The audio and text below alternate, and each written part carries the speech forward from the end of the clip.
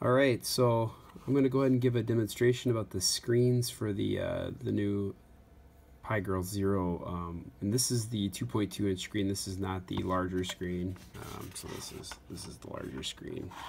barely fit in there, but um, I had some uh, a particular person complain about um, a build I sold to them on Etsy, and I just wanted to put this out here so people could see because I didn't want anybody thinking that um, I was providing a product that they didn't understand or at least have any uh, good insight on. So I, I, wanted to provide this. So if you take a look at this screen, I'm going to go ahead and show like the screen quality. And sorry, there's a light here right above it, so kind of glare, but uh, I'll try to aim it so you can see it. Um, one concern was the fact that when you tilted the screen, you would start to lose the ability to, to see. So there wasn't a good viewing angle.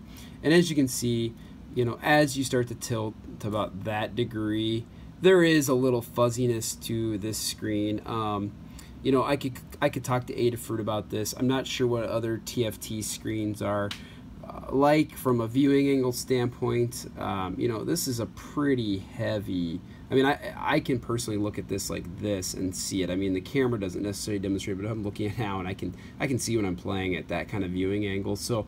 Uh, I feel like it's a very good viewing angle. I don't know anybody that's going to play a video game like this uh, versus you know just straight on where you're to play it. Uh, I can I can turn on a simulator or a port just to show how well this works. Um, you know this is uh, these screen viewing angles. You know they they tend to uh, you know I mean they're not like uh, they're like an IPS. They're they're going to be more of a traditional LC, you know, an LCD screen or LED screen, which isn't going to be isn't going to be perfect. You're not going to get this hundred and you know you're not going to get this 173 degrees of angle on this thing before you see it, but you can still see it. I mean, I don't know.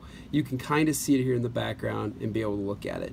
Um, so, uh, you know, obviously I think that could be a concern for one person. I feel like this is still really good product, and it and it does you know it does justice for anybody who's playing a video game. So um, I wouldn't worry if you're purchasing one of these from me or if you're building one even. I don't let this kind of thing be discouraging.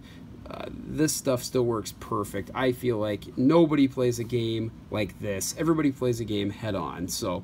Um, I just thought I'd post this video to show people to make sure there wasn't any issue with uh, uh Adafruit's uh, 2.2 inch uh, TFT. You know, I, I probably I could probably break out the 3.2 inch screen of the the Plus, show the same thing. I bet if you tilt it like this, yeah, it starts to fuzz out maybe about that angle or so where you just can't see it as well.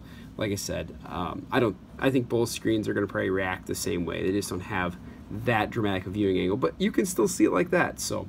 Uh, so there we go. Just thought I'd post the video and let everybody know what kind of um, my thoughts on this. I, I, still feel like this is a, a really good screen. So thank you.